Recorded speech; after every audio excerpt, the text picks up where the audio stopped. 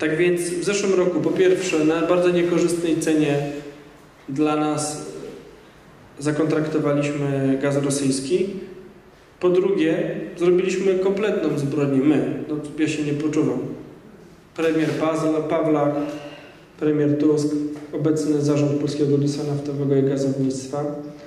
Otóż oddaliśmy tranzyt przez Polskę do 2045 roku, można powiedzieć, przekształciliśmy bez zmiany formy prawnej spółkę Europol Gaz, która zarządza, jest, jest właścicielem gazociągu jamalskiego w praktycznie stowarzyszenie non-profit, organizację pożytku e, publicznego, a właściwie prywatnego i to nie polskiego. Ponieważ podjęto decyzję, że to około 20 milionów, 27 co roku będziemy mieli zysku. Taki zysk, 27 milionów złotych, to są totalne grosze przy infrastrukturze wartej miliardy złotych i którymi miliardy metrów sześciennych, 20 kilka, 27, 28 miliardów do 30 paru e, rocznie do Federacji Rosyjskiej jest transportowane przez Polskę. To jakbyśmy sobie, no jak te przysłowiowe waciki. Za przysłowiowe waciki oddaliśmy tranzyt do 2045 roku. Dlaczego to jest takie ważne? Ponieważ nie wiem, czy Państwo obserwujecie, ale jak się robi zimno, to się rozpoczyna wojna gazowa między Federacją Rosyjską a Ukrainą. I ta wojna jest na zasadzie starego polskiego przysłowia złapał kozak Tatarzyna, Tatarzyn za łeb trzyma, ponieważ Rosjanie chcą podnieść ceny gazu dla Ukrainy, a Ukraińcy wtedy chcą podnieść koszta tranzytu. A Rosjanie w chwili obecnej cały czas są uzależnieni do całej Europy Południowej, do Włoch, do Austrii, Niemiec. Olbrzymia część gazu idzie przez Ukrainę. I oni nie mają cały czas alternatywy. Chcą zbudować tą alternatywę, tak jak Polska ma minąć Nord Stream, tak ma South Stream, drugi gazociąg e, przez południe minąć nasz region. Tak tak ci Ukraińcy potrafią bronić swojego interesu narodowego właśnie grając ceną tranzytu. Myśmy, Szanowni Państwo, stracili jedyny ostateczny argument, który mieliśmy w jakichkolwiek negocjacjach z Rosjanami w zakresie gazu. I Pawlak powiedział, no ale pod tą krytyką to my nie przedłożyliśmy umowy na zakup gazu. My nie przedłożyliśmy umowy na zakup gazu, ale też e, nie ma się czym chwalić, bo gdybym oddawał cały tranzyt, to bym chciał sobie zagwarantować, co po 2022 roku w moim kraju będzie się działo z gazem. Jeżeli teraz jesteśmy łupieni, to ostatecznie łupnięci to my zostaniemy w 2022, jak się skończy ten kontrakt. I powiedzmy sobie szczerze, to nie będzie decydowane za 5-12 w momencie w roku, w którym on będzie się kończył, tylko parę lat wcześniej. Bo ustalić na jakich zasadach po 2020 roku będzie płynął do nas rosyjski gaz, dla którego cały czas nie mamy alternatywy i raczej geograficznie na razie nie będziemy mieli. Oj, trudne zadanie dla każdego, kto będzie próbował to wyprostowywać. Tak więc do tego całego obrazka trzeba dodać jeszcze jeden. To jest, to jest rządowy plan i działania służące prywatyzacji grupy Lotos.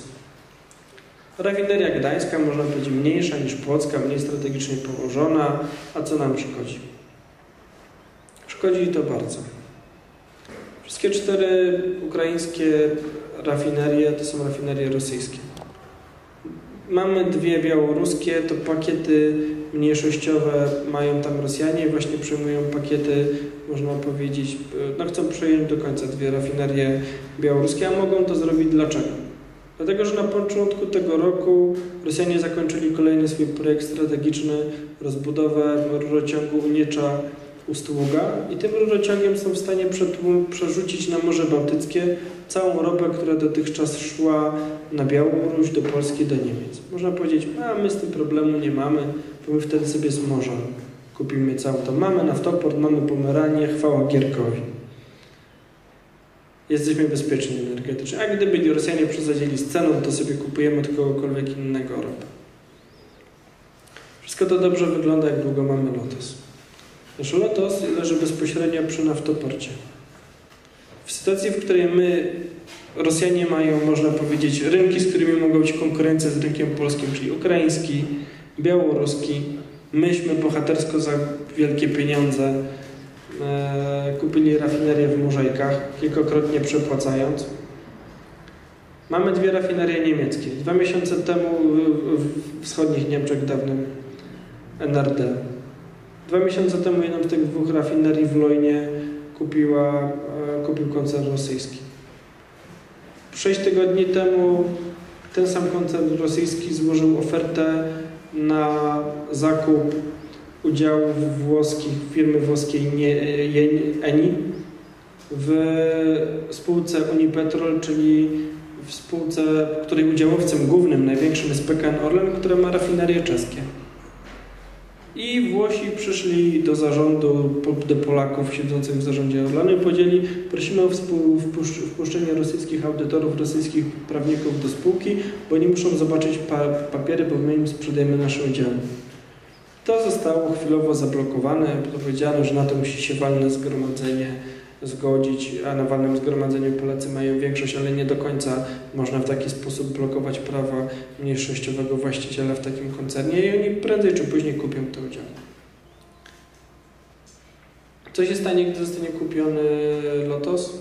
Gdy zostanie kupiony Lotos, to w perspektywie pół roku do roku Rosjanie będą mieć cały rynek Europy Środkowej, jeżeli chodzi o paliwa.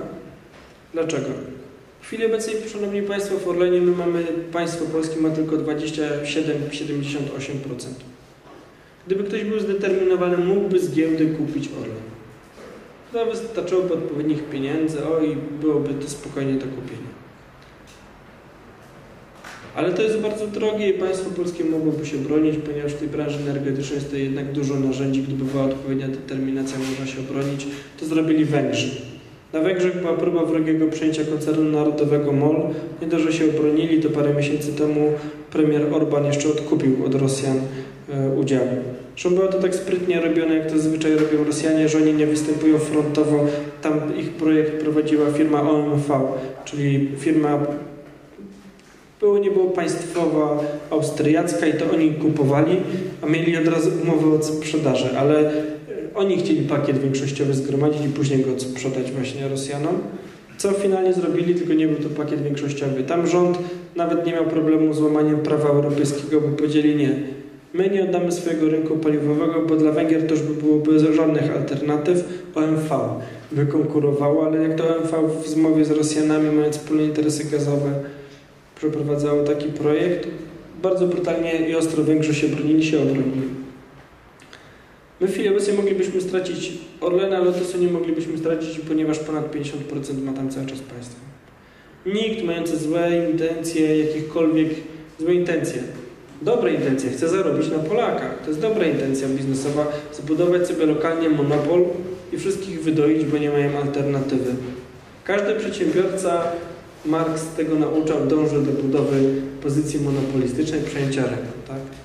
W chwili obecnej jest plan, żeby sprzedać tą rafinerię, która ma uprzywilejowany dostęp do morza. Ma tylko Lotos może paliwo z innych rynków bezpośrednio z naftoportu e, importować, bo tylko Lotos ma rurociąg, którym to paliwo zaimportowane e, może trafić do rafinerii gdańskiej, stamtąd dalej być przesłane. Co się stanie, gdy Lotos zostanie sprzedane i obyście Państwo nie mieli szansy weryfikować, czy głupoty, czy straszną głupotę opowiadam, czy niestety coś w tym może być z prawdy. To się stanie, że w krótkim czasie, gdy Rosjanie kupią rafinerię w Gdańsku, a tylko oni poważne oferty teraz poskładali, jak wynika z doniesień medialnych, a dlatego a tylko oni, ponieważ im najbardziej zależy, oni największy biznes na tym zrobią, bo wszystko wokół.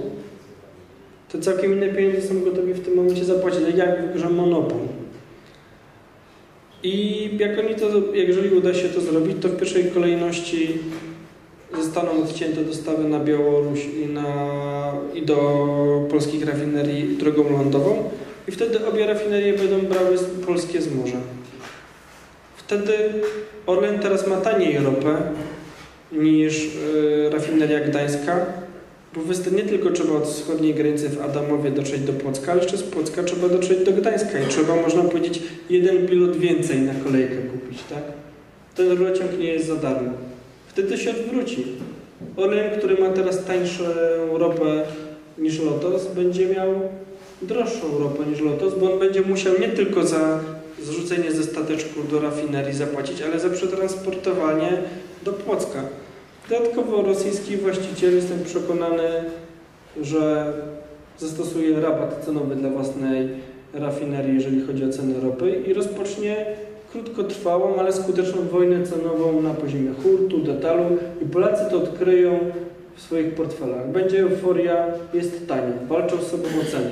Taka wojna cenowa w krótkim czasie załamie finanse Orlenu, kurs tej akcji się posypie na giełdzie wtedy będzie można te dwie firmy przejąć łącznie Lotos i rafinerię w Gdańsku za mniejsze pieniądze, niż teraz byłyby potrzebne przejęcie samego Orlenu. Tyle jeżeli chodzi o czarnowictwo i sprawy pesymistyczne. Co do energetyki jądrowej, to wolałbym się nie odnosić, ponieważ uważam, że jest mało prawdopodobne powstanie w Polsce elektrowni jądrowej. Jeżeli ona powstanie, najprawdopodobniej w taki sposób, że tak jak stadiony w Polsce, które są najdroższymi stadionami na świecie i można powiedzieć, no nie ma problemu zbudować w Polsce elektrownię jądrową, ale problemem będzie utrzymać e, ten obiekt i płacić za prąd w takich cenach, w jakich on będzie. E, z drugiej strony można powiedzieć, że to jest jedyna dla nas alternatywa, jeżeli nie zmienią się te sprawy regulacyjne, dla coraz większego gazowania gospodarki, coraz większego skali produkcji energii elektrycznej z gazu, który nie będzie tania i który będzie cały czas przede wszystkim z jednego kierunku trafiał do Polski. I chciałem właśnie teraz powiedzieć i zakończyć czymś pozytywnym. Chociaż też nie do końca, bo też tu jestem sceptykiem.